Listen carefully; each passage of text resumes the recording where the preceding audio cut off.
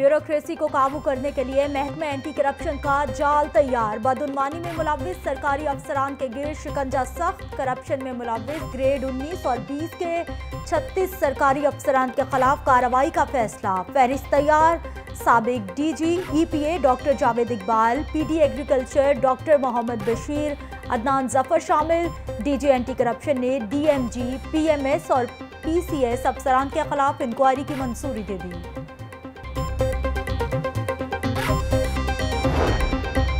عمران خان کے طیارے میں بم کی بوگس کال۔ ون فائیو پر بم کی اطلاع پر پولیس کی دوڑیں لگ گئیں۔ انتظامیہ کے ہاتھ پیر پھول گئے۔ سولہ تاریخ کی رات ساڑھے دس بجے پولیس کو بم کی موجودگی سے متعلق اطلاع ملی۔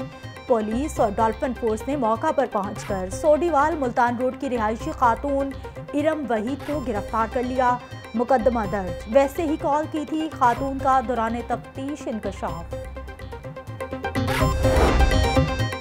قیدی نمبر چار چار سات صفر سے ملاقات کا دن۔ مریم نواز، والدہ شمیم شریف، کیپٹن صفدر اور حمزہ شہباز کی کوٹ لکھپت جیل آمد۔ کارکنوں نے پھولوں کی پتیاں نچھاور کی پرویز ملک، خواجہ عمران نذیر، بلال یاسین، لارڈ میئر، خواجہ احمد حسان، غزالی سلیم بٹ اور چودھری شہباز۔ راجہ فاروق حیدر، سابق گورنر سندھ، زبیر عمر بھی کوٹ لکھپت جیل پہنچے۔ جیل کے اندر جانے کی کوشش پر لیگی کارکنوں کی، پولیس اہلکاروں کے ساتھ ترک کلامی۔ لیگی کارکنوں اور خواتین کی بڑی تعداد میں کوٹ لکھپت جیل آمد، قائد کے حق میں نعرے بازی کارکن صدقے کے لیے کالے بکرے لے کر جیل پہنچے۔ لیگی خاتون کا جیل کے باہر سلائی مشین رکھ کر عمران خان اور علیمہ خان کے خلاف احتجاج۔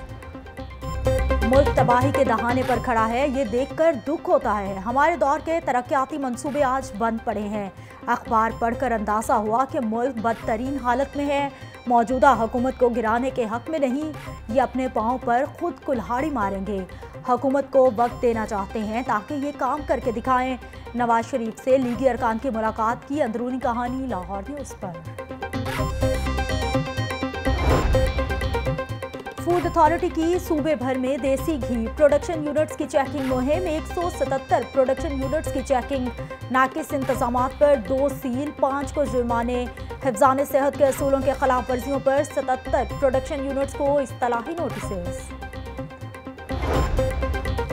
ڈیلی ویجز اور کانٹریکٹ ملازمین کو مستقل کرو۔ جنرل اسپتال میں پیرن میڈکس کا احتجاج، حکومت کے خلاف نعرے بازی دو ہزار ملازمین نے مطالبات کی منظوری تک کام چھوڑ دیا۔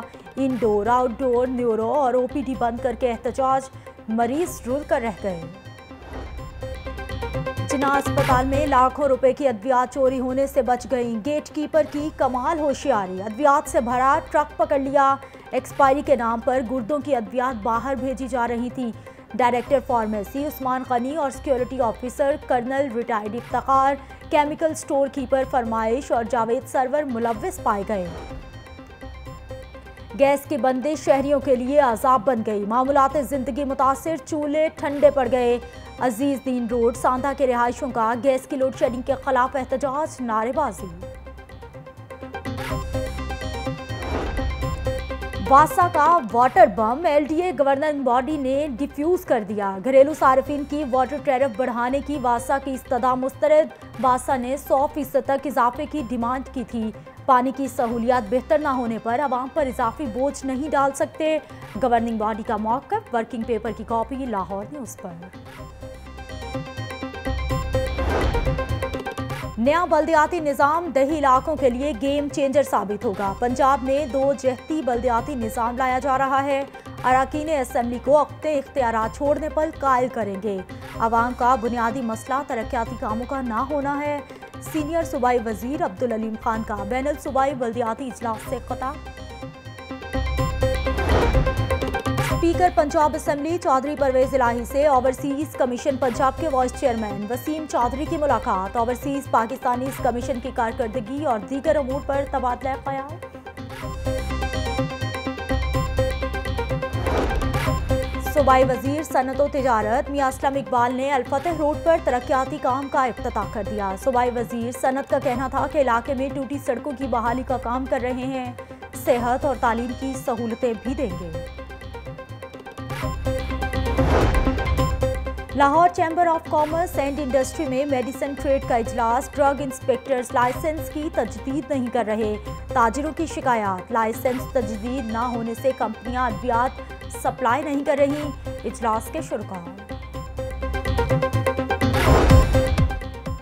یونیورسٹی آف سینٹرل پنجاب میں سالانہ جاب فیئر کی افتتاحی تقریب information technology engineering hospitality banking textile سمیت اکیانوے کمپنیز نے اپنے سٹالز لگائے یو سی پی کے پروڈکٹر ڈاکٹر ظفر اللہ کا مختلف سٹالز کا دورہ